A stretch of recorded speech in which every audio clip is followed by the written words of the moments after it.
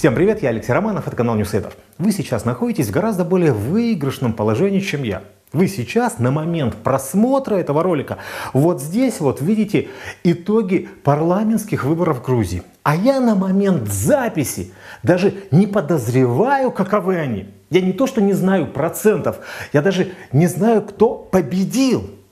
Партия Саакашвили, она взяла реванш, она вернула себе власть или нет? Или они вообще объявили, что э, действующая партия власти все сфальсифицировала и зовут людей на баррикады? А Саакашвили уже сражается с полицией.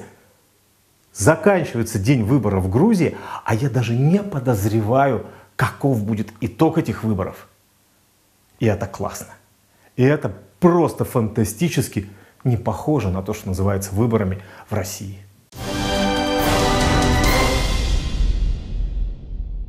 О том, что в России не выборы, а выборы сказано было много. А вот вам визуальный образ. Это митинг оппозиции в Тбилиси за два дня до вот нынешних парламентских выборов.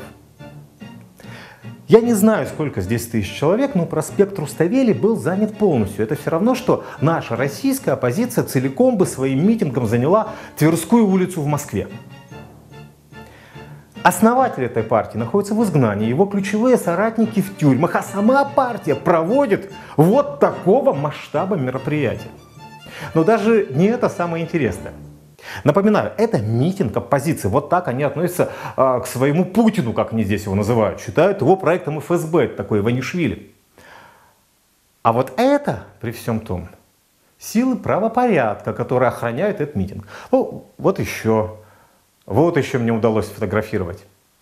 Никаких космонавтов, никаких колонн автозаков и уж тем более этих полицейских рамок, как на Болотной было и на Сахарова, помните?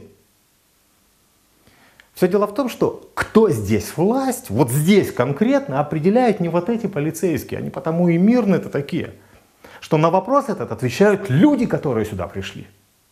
Которые через два дня вот после этого митинга, то есть вот сегодня пойдут и проголосуют и выберут эту власть. И полицейские вот здесь и сейчас не знают, так же как я здесь и сейчас, кто этой властью станет. Вот она прелесть настоящих демократических выборов. И вот тут я должен сказать несколько слов в защиту наших отечественных оппозиционных партий и их лидеров. Я белой завистью завидую грузинам, которые настойчиво и не безуспешно на обломках совка создают сейчас себе демократическую страну. Но при этом я должен признать, что делать это здесь, в Грузии, все-таки несколько легче, чем в России. Ну вот возьмем революцию РОС и представим, что она происходит в России – в этом случае какой-нибудь блок Навального ежедневно собирает в Москве 300-тысячные митинги. А, при этом ОМОНа нет даже на горизонте. При этом сам Навальный сидит не под домашним арестом, а в кресле председателя Мосгордумы. И самое главное, Первый канал, который Константин Эрнст, который главное оружие пропаганды, работает не на Путина, а на оппозицию.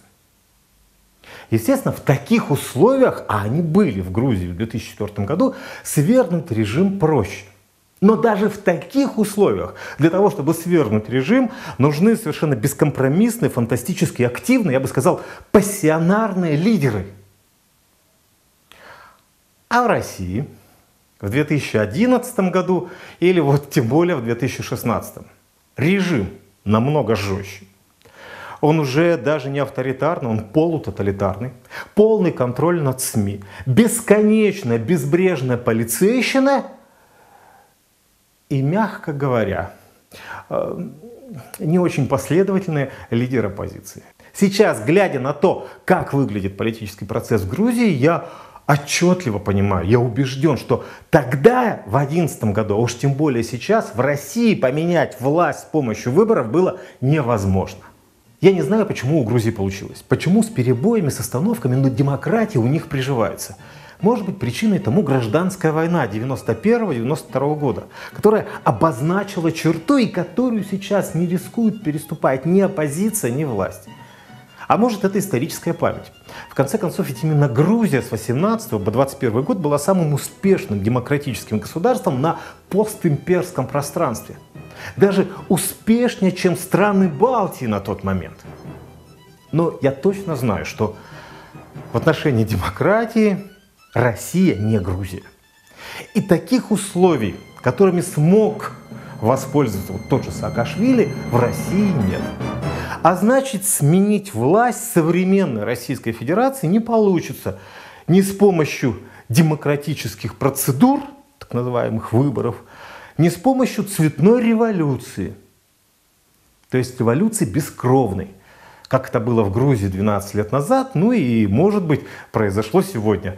Вы-то уже знаете итоги. Как смогли они, нет, сделать свою революцию рост 2.0.